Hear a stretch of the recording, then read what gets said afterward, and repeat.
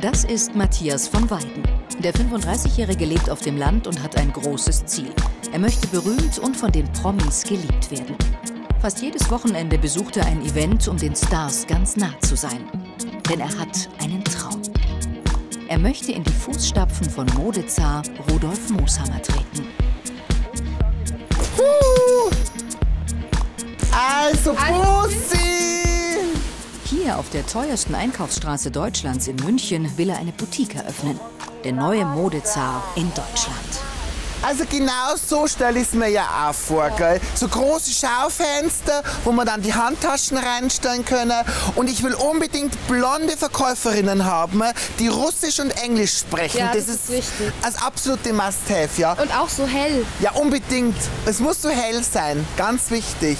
Und dann ganz groß in silberner Schrift Matthias von Weiden, also MVW. So wie dieses Dior jetzt, aber halt dann entweder in Gold oder in Silber. MVW, Matthias von Weiden. Das wär's, ja. Ja. Ui, Chanel! Oh, ah, da müssen wir reinkommen. Doch bis zu seiner eigenen Boutique ist es ein langer Weg. Noch wohnt er in einem kleinen Ort an der tschechischen Grenze weit weg von den Promis und der Münchner Bussi-Gesellschaft. Aber in seiner Wohnung hat er sich bereits seine eigene Glamour-Welt gebaut. Hallo, willkommen in meiner Villa Kunterbund. Kommt doch mal rein. Also das ist meine Garderobe. Da habe ich meine ganzen Handtaschen. Und jetzt gehen wir mal zu mir ins Wohnzimmer. Also das ist mein Wohnzimmer hier. Da schaue ich dann einmal Fernsehen, da liege ich dann immer hier im Bett rum. Da habe ich keinen Bock gehabt, dass ich mir eine Couch aufstelle. Deswegen habe ich mir nämlich ein Bett hier reingestellt, weil es doch ein bisschen bequemer ist. Ich stehe unheimlich auf Engel, die beschützen mich. Und da sind meine ganzen Fotos von meinen ganzen Freundinnen und von meinen ganzen Stars, die ich alle schon getroffen habe. Zum Beispiel habe ich vor zwei Jahren mit meiner Mama in äh, Ibiza einen Schmuck von der Paris Hilton gefunden. Und den haben wir natürlich anstandshalber abgegeben. Und dafür war sie dann letztes Jahr mit mir am Blue Marlin und hat mit mir Party gemacht. Das Reich von Matthias gleicht einer großen Puppenstube mit viel Kitsch, Glitzer und Glamour. Hier lebt er in seiner eigenen plüschigen Welt und träumt jeden Tag von einem Leben als großer Modezar. Na, viele meiner Freundinnen sind auch so wie ich, die auch vieles sammeln, wie zum Beispiel jetzt hier die Mutter Gottes. Die habe ich in mehreren Variationen. Kitsch, absoluter Kitsch. Und da stehe ich halt total drauf. Also Kitsch ist das, wo mich glücklich macht. Auch beruflich hat sich der Paradiesvogel ganz und gar auf Kitsch und kunterbuntes eingestellt. Dreimal in der Woche arbeitet er in einem Spielzeugladen und berät Kunden, womit er sich schließlich am besten auskennt mit Puppen, Taschen, Spielen und Plüschtieren. Also ich stehe ja total auf Rosa, das ist ja absolut meine Farbe und ich liebe alles, was glitzert. Das ist genau meine Welt. Naja, ich habe früher einmal gern schon mit Puppen gespielt, ich bin ganz ehrlich. Also nicht so gern mit Autos, aber eher halt dann mit Puppen war auch schon immer anders als wie bei anderen Jungs.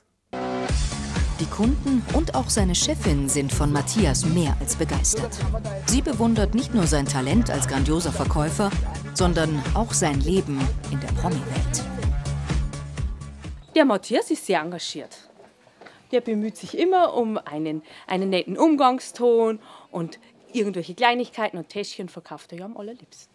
Wir freuen uns auf jeden Montag, wenn er wieder anfängt zu arbeiten und er kommt frisch aus München, weil wir uns freuen auf die Nachrichten. Was ist wieder mit dem Boris Becker oder mit dem Fritz Wepper oder was, was gibt es wieder Neues?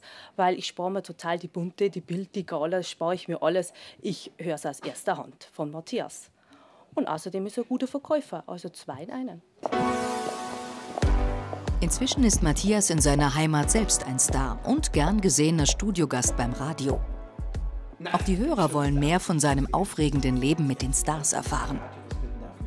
Gemeinsam mit seiner Freundin Nicola besucht er die Radiostation in Weiden. So, ihr Lieben, los geht's! Und heute bei mir zu Gast Matthias Bagada aus Weiden. Und Matthias, ähm, hier in Weiden kennt dich ja jeder, hat dich jeder schon mal gesehen mit deiner Handtasche in der Innenstadt. Vielleicht die Amberger und Tirschenreuter werden dich noch nicht so gut kennen. Du bist ja wirklich überall unterwegs. In Kitzbühel, du hast Paris Hilton schon auf Ibiza getroffen, in München gehörst du einfach mit dazu. Jetzt erzähl mal ein bisschen, wie ist denn das so mit den Prominenten? Wie sind die denn so drauf? Ja, es ist voll lustig auf alle Fälle. Du kriegst jetzt mal was kurz zum Essen und am Schluss kriegst du immer tolle Geschenke und die machen alle Fotos mit mir. Also es ist immer mal Gaudi. Okay, wer ist der Schlimmste von allen? Keiner. Also ich habe mich bis jetzt mit allen gut verstanden. Und die, wo ich nicht leiden kann, da gehe ich einfach nicht hin. Ja, da hast auch recht. Jetzt, äh, was sich der ein oder andere fragt natürlich. In München, das Leben ist schweineteuer. Da zahlst du für ein Glas Sekt 20 Euro. Du bist da rund um die Uhr unterwegs, du bist im Käferzelt auf der Wiesen. Wie kann man sich sowas leisten als normaler Mensch? Ja, du wirst da eingeladen, also von Freunden. Und äh, so teuer ist München auch wieder nicht. Da gibt es auch einen Aldi und einen Norma. Du gehst halt da einkaufen und nimmst du deinen Sekt mit und den steckst dann in die Handtaschen rein, schmuggelst ihn mit rein und dann hast du deine 20 Euro wieder gespart. Ja, das stimmt allerdings. Matthias weiß, er muss selbst berühmt und prominent werden, um als Modezar wie Rudolf Mooshammer in München und ganz Deutschland gefeiert zu werden. Insofern fördern Radio- und Zeitungsinterviews seinen Bekanntheitsgrad. Aber auch zu Hause arbeitet er ständig im Internet an seiner Popularität.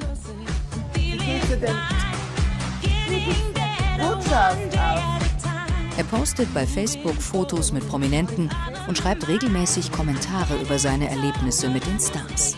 Da die Marielle Ahrens, Errol Sander als super Schauspieler, der Oliver Pocher, das wäre doch einer für dich. Süßer Kerl, gell? Und der Christoph Ude, die Sonja Riekel von der Bunten. Mhm. Lauter tolle Schauspieler, schau. Lauter Prominente. Immer unter die Prominente, Matthias, bist du. Ja, die ziehen mich halt an, gell? Ich mach halt gerne Ja, mit das ist denen deine Fotos. Welt. Matthias kennt sie alle. Ob Boris Becker, Oliver Pocher oder Starkoch Alfons Schubeck. Sich mit den Stars fotografieren zu lassen ist das eine. Aber wie kommt man auf die Events und den roten Teppich ohne Einladung? Also, ich bin ganz ehrlich und äh, bei mir macht ja schon das Aussehen viel her. Und da ich ja auch wirklich immer gut angezogen bin und so tue, als ob ich dazugehören würde, lasse ich mich immer vorm roten Teppich raus. Und auch wenn ich keine Einladung habe, gehe ich da trotzdem hin. Und was passiert da? Nix, weil die denken, ich gehöre mit dazu. Damit auch sein Name Glamour und Jetset versprüht, nennt er sich seit kurzem Matthias von Weiden. Eigentlich heißt er Matthias Bagada, aber das klingt nicht nobel genug.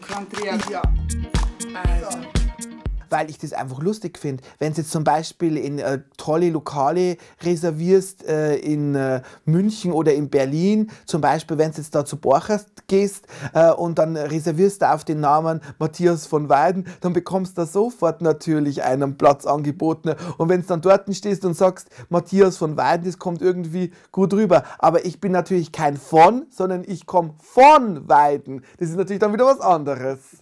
So versucht er in allen Lebenslagen seinem großen Idol nachzueifern. Er möchte so sein wie er. Den ha habe ich ja sehr, sehr gern gehabt, den Herrn Mooshammer. Weil der hat mir zum Geburtstag hat der mir immer was geschenkt. Ob das ein dunkelblaues Seidentuch war mit einer weißen Schrift, wo Rudolf Mooshammer drauf gestanden ist, oder eine Krawatte, oder ich habe auch mal ein schönes giftgrünes Hemd von ihm bekommen. Der hat mich einfach gern gehabt. Ich bin zu ihm in die Boutique rein, wir haben uns kennengelernt, er war immer sehr sympathisch, sehr nett zu mir und ich bedauere das ja sehr, dass er nicht mehr unter uns ist und nicht mehr lebt. Es war im Januar, sein Todestag, und da haben sie dann im Fernsehen auch äh, den Mordbericht über ihn gebracht und alles. Und also ich möchte ja schon gern so sein wie er und auch eine eigene Boutique haben in der Maximilianstraße in München.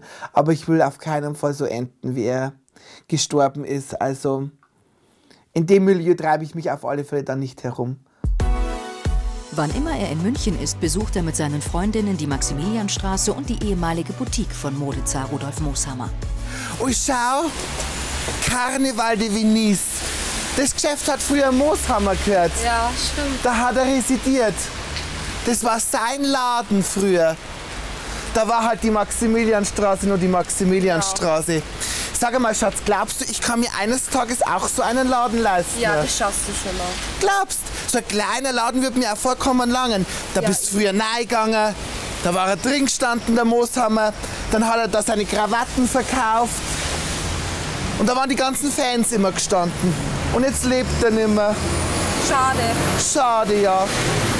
Ja, egal. Weißt du was, jetzt schauen wir mal vor. Zu Chanel und zu Dior. Mach mal. Er will in die Rolle des Modeschöpfers schlüpfen und berät auch ohne eigene Boutique seine künftige Kundschaft auf der Straße. Aber ich sage Ihnen eins, das ist ein absolutes Must-Have, die Kelly Beck von Hermes, und die haben sie ein Leben lang. Das weiß ich. Die ist wirklich klasse. Sie sind lieb, schön. Wir haben zwar heute kein besonderes gutes Wetter, aber ich wünsche Ihnen einen schönen Tag. Wiedersehen.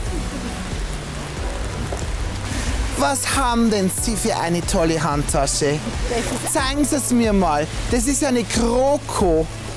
Das dürfen wir doch heute gar nicht mehr zeigen. Aber das ist ja was ganz was Besonderes. Das dürfen wir heute gar nicht mehr zeigen. Die müssen es in Ehren halten, das wissen Sie ja, schon. die habe ich auch. Die habe ich ganz in Ehren. Die ist auch schon ganz alt. Ja, also ich bin ja Matthias von Weidne und ich werde ja vielleicht einmal, wenn ich äh, viel Geld mache mit meinen Handtaschen, hier in der Maximilianstraße einen Laden eröffnen, so wie der Herr Mooshammer früher.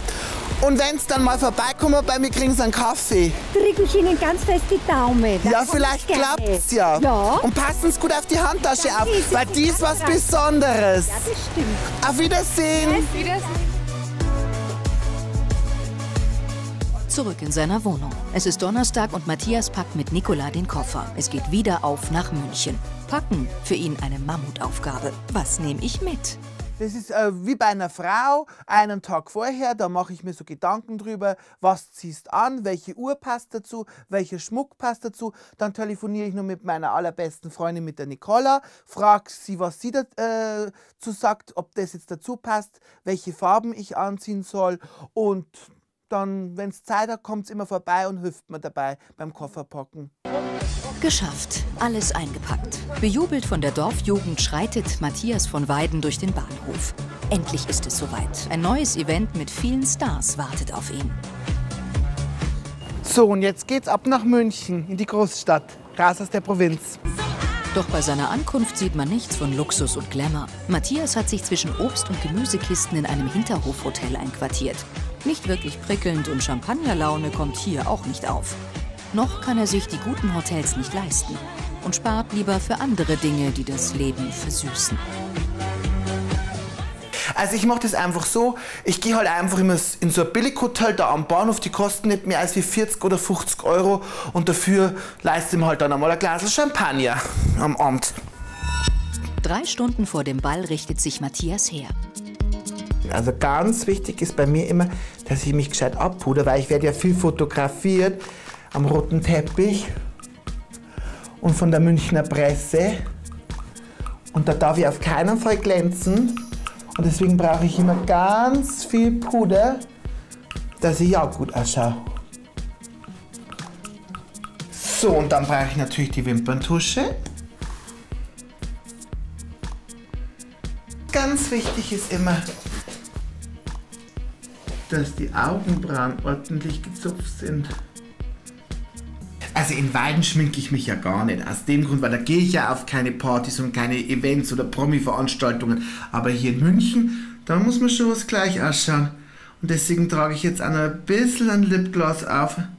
Aber ansonsten bin ich recht natürlich geschminkt. Es ist soweit. Matthias von Weiden betritt den berühmten Filzerball. Das ist seine Bühne. Der zukünftige Modezar von München in seinem Element. Überall werden Bussis verteilt. Die Gesellschaft feiert ihn wie einen König.